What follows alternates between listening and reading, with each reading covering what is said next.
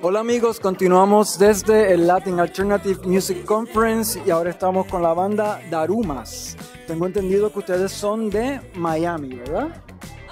Pero que cada una de ustedes es un sitio diferente. Exacto. Yo soy Vidala, la cantante de la banda, y soy haitiana, pero vivo en Chile. Y yo soy Ceci, la guitarrista. eh, nací y crecí en Miami. Miami. ¿Y tú?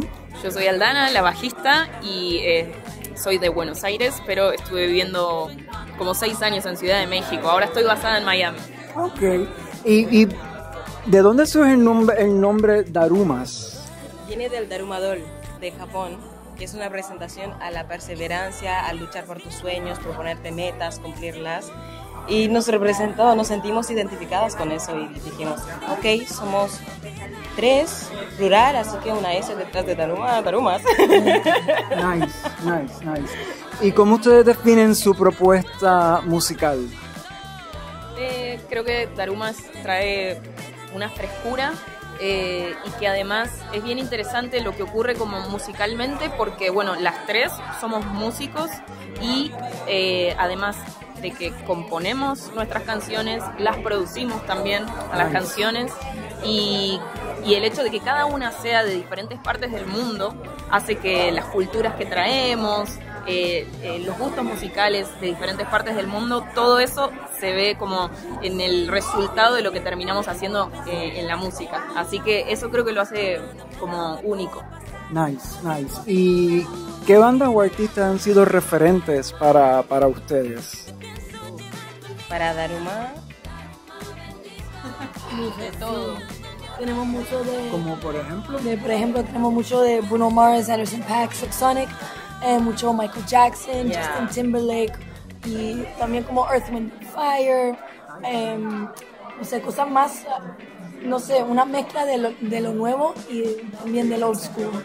Esos son los artistas como que tenemos en común. Sí, Por pero cada uno- personalmente, Dina Washington, Nina Simone, Lowen Hill, Nati Peluso, que tenemos en común ahí claro, también. claro. Y, oh, son muchos, o sea, hay una lista De gigante. hecho, también, eh, bueno, por ejemplo, yo que vengo de Argentina, le he compartido mucho a las chicas de, de Cerati, por ejemplo, Soda, bueno, Spinetta, yo siempre digo, soy muy fan de Luis Alberto Spinetta, eh, me dedico a la música por, por él y, y hay una canción en particular en nuestro disco que acabamos de sacar, de Darumas, hay una canción que se llama Candy, en la que eh, trabajamos en conjunto con Dante Spinetta. Nice.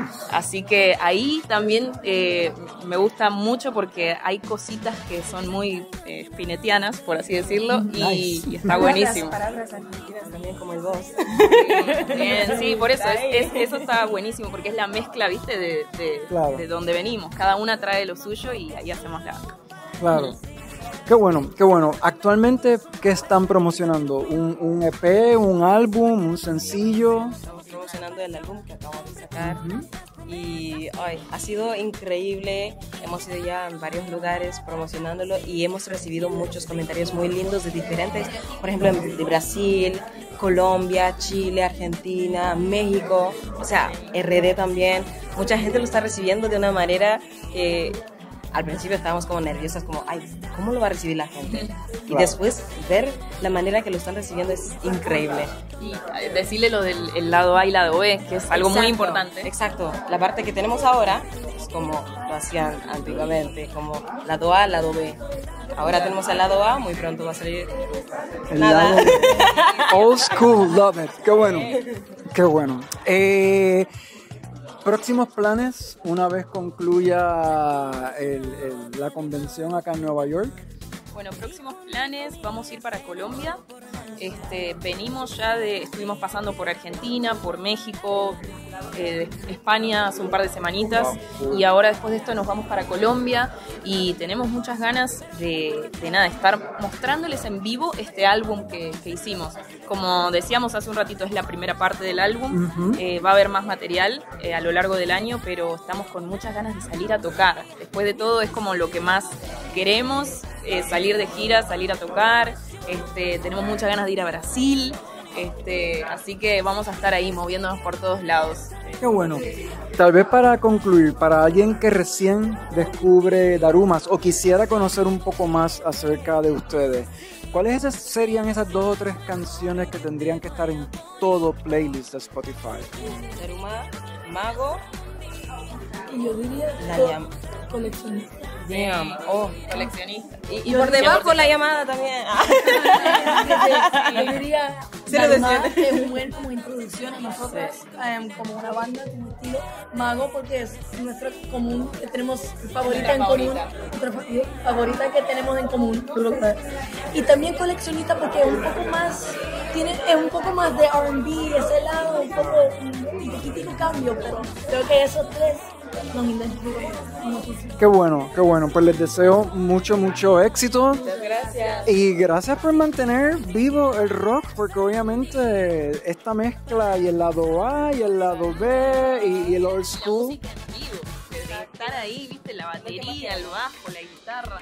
Hay canciones que tienen solos de guitarra, que eh, suena tonto decirlo, pero es que en estos tiempos hoy escuchas la radio y es raro de repente escuchar algo mainstream en el que haya un solo de guitarra. Claro. Bueno, Darumas tiene solo de guitarra, el bajo, bueno, todo el tiempo.